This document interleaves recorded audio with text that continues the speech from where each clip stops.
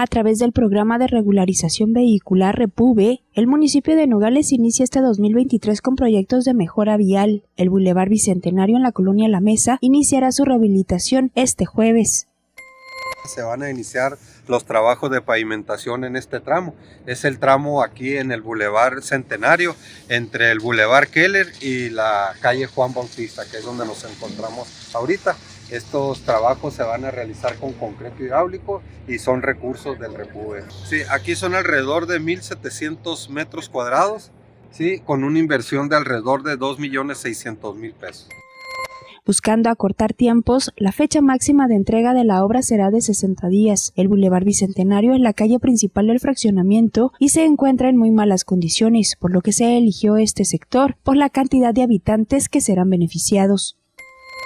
Los trabajos van a durar 60 días, pero obviamente ese trabajo eh, es el periodo estimado máximo, pero vamos a tratar de que sea el menor tiempo posible.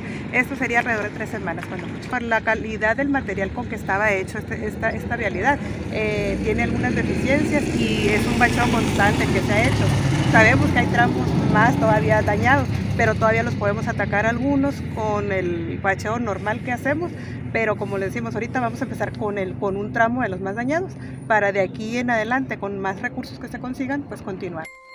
Debido a que es una arteria de alta circulación vehicular, el Departamento de Tránsito tendrá elementos de apoyo para que la población se conduzca por las vías alternas y evitar contratiempos y a los, residentes de esta área de la colonia La Mesa, pues les vamos a facilitar las calles aledañas que vienen son la Ponderosa, la Juníperos, para que le saquen la vuelta de lo que va a ser la obra y lo menos engorroso.